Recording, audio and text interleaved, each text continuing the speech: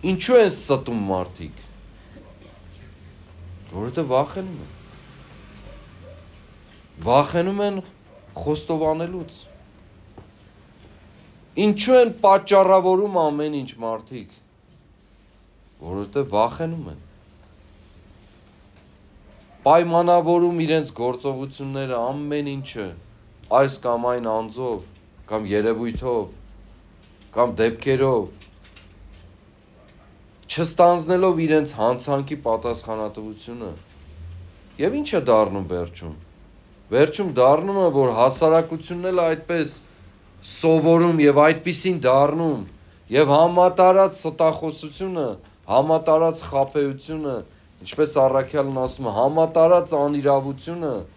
անօրենությունը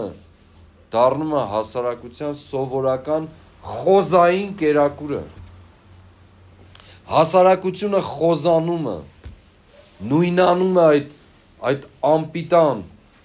քայքայող սպանիչ կերակուրի հետ սնունդի հետ բայց գոհանում է այնտեղ մնալով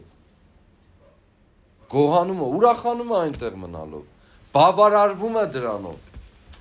չի ուզում վերադառնալ իր ազնվական նկարագրին ու իր մաքուր անարատ կերակրին ու սնունդին որը ճշմարտությունը որը արդարությունը որը զոհաբերությունը որը նահատակությունը որն է իր կորսվածը գտնելու յետևից գնալու մեծ նախանձախնդրությունն ու ցանկությունը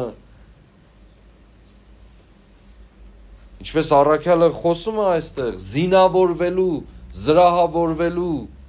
թե պաշտպանվելու թե հարցակվելու ճշմարտություն ունենալու ըստ Պողոս առաքյալի եւ հրաժարվում է իր ազնվական սնունդից, որովհետեւ դժվար է այն ընդունելը, ծանր կերակուր է դա։ Մինչդեռ այն թեփը կամ խոզիկերը ինչ որ կար, դյուրին է ընդունել։ Նա երևի մարսողություն էլ չի պահանջում։